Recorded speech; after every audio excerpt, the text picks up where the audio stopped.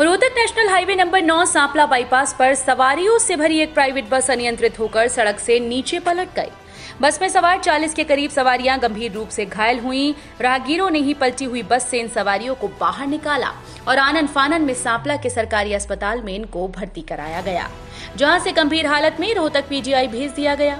घटना की सूचना पर सांपला थाना पुलिस मौके पर पहुँची और घटना के कारणों की जाँच में जुट गई।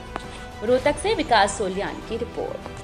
ये घटना हमें एक सौ कंट्रोल से फ़ोन आया था कि एक बस खाई में पलट गई है जिसमें दस के आसपास सवारी हैं तो मतलब थोड़ी चोट छोटी मोटी चोट उनको लगी है ज़्यादा नुकसान नहीं हुआ।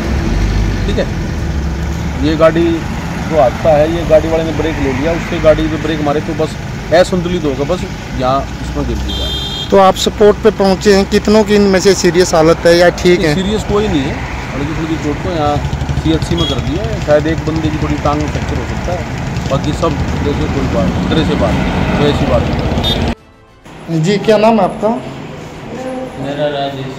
राजेश जी आप उसी बस में थे जो पलटी है? कितनी चोटें आई हैं आपको? है। और कितनी सवारियाँ थी उसमें? सवारी तो कैसे हुआ ये हादसा? कहाँ से आ रहे थे आप? तो कैसे हुआ है ये? क्या ड्राइव कार नंबर एक ले गए कार वाले ने। कंट्रोल करते करते बस कच्चे में उतर पलटी खाई कितनी सवारियाँ थी उसके? ये सवारी आप उसी गाड़ी में थे जिसमें?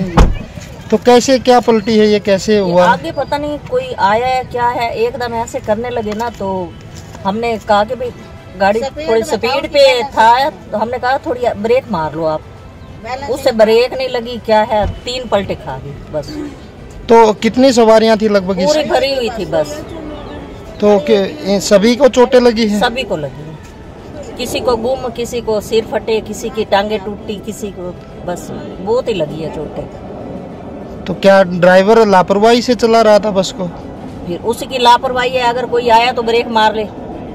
नहीं है तो स्पीड ब्रेकर है तो उसको करो आप। कहाँ से आ रहे थे आप? हम दिल्ली से आ रहे थे। दिल्ली से कहाँ कहाँ जाना? पीरागढ़ी से आ रहे थे रोहतक जाना था। रोहतक आना था। भैया उनको पेन हो?